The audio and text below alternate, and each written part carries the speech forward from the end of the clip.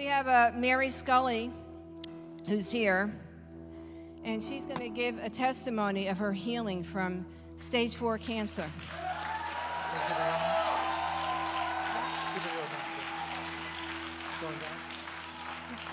Praise God. Thank you, Jesus. Thank you, Holy Spirit.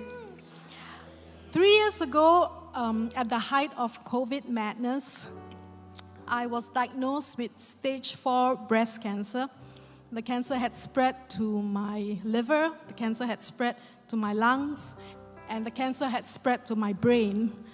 So, over this course, I have gone through many rounds of chemotherapy.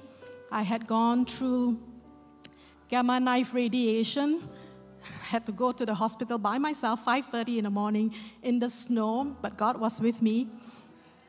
And and also I um, had gone for a radiation on my breast, and together with that, I had to take IV um, um, antibiotics and most of the time, it was four to five hours a day for a period of 10 days. But God was with me. Come on. I also had woken up on Christmas morning with my t shirt covered with blood. It was very terrifying. I had experienced tingling in my hands and my feet. I had gone to ER many times and to the doctor's hospital many times. I also lost all my hair during one of the treatments, but God was with me. so, over the period of time, I've, I've heard this uh, phrase. They say um, NED, no evidence of disease. And I claim that word even before anything was manifested in my body. I claim that word. I also asked God to give me a promise. So he gave me a promise from Jeremiah 30 17. It says, For I will restore your health and heal your wounds. So that's the word I hung on to every day. I put it on my wall, I put it in my Bible. I said it out every day that the Lord will do what he promised. So a few months ago, I spoke to my oncologist.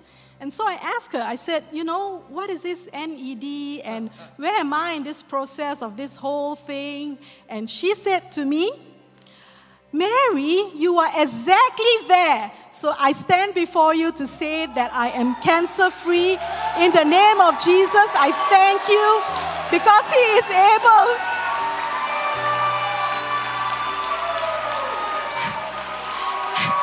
Praise God. So, so like what Pastor Trish was saying last week, you know, don't put don't put God in a box. Healing comes sometimes progressive and sometimes in a miracle, and I've experienced both. During one of the season, I had um, I was facing neuropathy. I don't know, maybe some of you know what it is. So I spoke against it, but there was one day I did not get to go to church. I was feeling a little bit, you know, depressed at home. But out of the blue, I got a text from a friend, and she says, Girl, I miss you. I miss seeing you flag and worshiping the Lord because I, I like to flag worship. So she said she missed that. So at that moment, I felt faith arise to meet God's love. And at that moment, I spoke to neuropathy. I said, Get out in the name of Jesus. Get out and don't come back.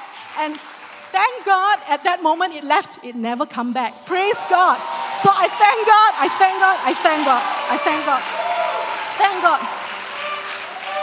I, I'm writing a book because I believe a lot of women, especially, need to hear God's healing power and to know that God loves them. That's the first key that you know how much God loves you. So, um, I'm in the book, I share the tools that God has given me, and one of the tools that He gave me is praise and worship. So, guess what I was doing before I got a call from the doctor, and the doctor said, You know, you have stage four breast cancer. And when he told me that, I was really covered. I, I wasn't, I didn't, I didn't feel the impact, you know, because what, what I was doing before I got a call, I was in praise and worship. I was in my kitchen, I put on my favorite song and I just praise God and I just focus on Him. So when I got the call, I, I really felt I wasn't impacted. I wasn't like, oh my goodness, what am I going to do? Fear did not set in. So I thank God for that because that's a powerful tool. I know in this church, you know, that is a tool of spiritual war, weapon of spiritual warfare, which God has given us and we can use it. You know, that's the benefit of being in, in, in Christ. So I, I thank God for that because um, the doctor even was like, um, ma'am, you don't understand. You have stage four breast cancer. I said, Yes, I know, but you know, in my heart, I said, I know God is with me. Yeah. so I, I know the time when I was here, I was standing here, and Pastor Peter came up to me. I told him what I was going through. And I remember he was holding up my hand, and he said to me, God is going to strengthen your immune system. And I grab on to that word because God has really strengthened my immune system spiritually, and He's also given me things that I could take because it's also in the, in, in the body. Our body needs healing. So He gives me things to take which has um, help me in my healing process. But I always put God first. It's God's word first. What you believe, it comes first, and then He will show you all the other things that will come with it. So I'm really thankful.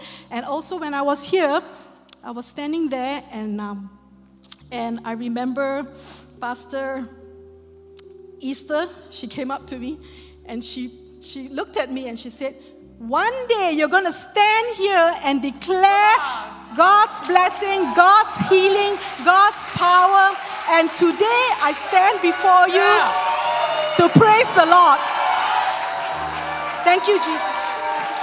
Just release a prayer here. Release a, a prayer okay, here. Okay. If you need healing, come on, lift your hand. I want Thank to you, release Jesus. a prayer Thank you, all Jesus. of us here. Thank you, Jesus, for your blood. Thank you, Jesus, that you went to the cross and you brought us healing. We can claim that word without doubt, but fully trust you for your healing power. You are with me. You are with everyone that calls out to you by faith in your finished work on the cross. I release healing to you. I release healing to you. I release healing to you. You who are seeking God right now, who is not sure, it's not in your works, it's not in what you do. Have faith in Jesus. It's in His works, it's in His doing. It's all about Him, and He wants to show you and tell you how much He loves you. That's where your healing will come from. Believe in Jesus. Amen.